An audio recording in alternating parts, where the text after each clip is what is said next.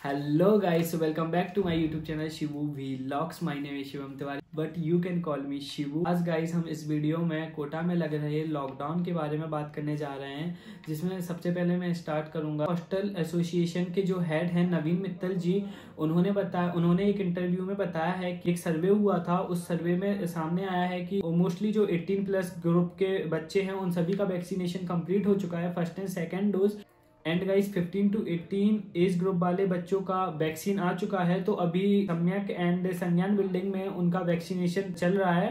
Guys 15 to 18 age group वाले बच्चों का 5 टू 10 डेज़ में वैक्सीनेशन कंप्लीट हो जाएगा, जो बच्चे अभी कोटा में हैं। एंड गाइस अभी तक ऐसा कोई भी नोटिस या गाइडलाइंस नहीं आई है कि कोचिंग वगैरह को कोटा में बंद करना होगा। तो गाइस अभी सारी कोचिंग्स वगैरह कोटा में रन कर रही हैं और सभी प्रिकॉशंस का एंड सैनिटाइजेशन का ध्यान रखा जा रहा है। एंड गाइस जो भी कोविड से रिलेटेड गाइडलाइंस हैं, उसका कोचिंग्स वगैरह में ध्यान रखा जा रहा है। सभी बच्चे मास्क वगैरह पहन के आ रहे हैं एंड जो कोचिंग्स में स्टाफ है, वो फुल्ली वैक्सीनेटेड है।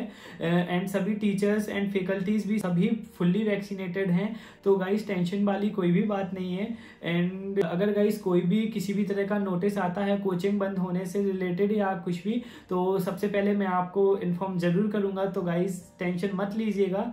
एंड पैनिक करने की ज़रूरत नहीं है गाइस जो बच्चे अभी कोटा में एडमिशन लेना चाहते हैं या कोटा आना चाहते हैं तो वो कोटा आ सकते हैं। बट अगर आप 18 प्लस एज ग्रुप से हैं तो आपका दोनों डोज कंप्लीट होना चाहिए।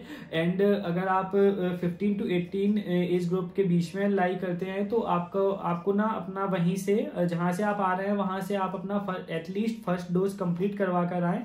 तो फिर यहाँ पर आने के बाद कोई भी प्रॉब्लम वाली बात नहीं होगी। एंड गाइज़ अभी कोटा में ये हालात को देखते हुए जो कोटा के डीएम हैं उन्होंने नाइट कर्फ्यू लगवा दिया है।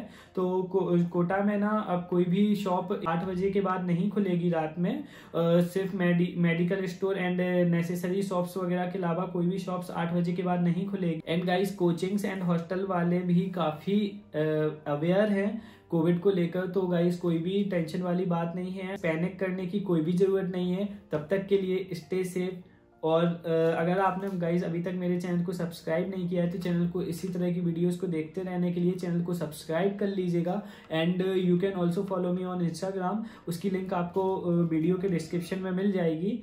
सो so गाइज़ इस वीडियो में बस इतना ही। तब तक के लिए गुड बाय टेक केयर अपना ख्याल रखिएगा अपने माता पिता से प्यार करते रहिएगा। Bye guys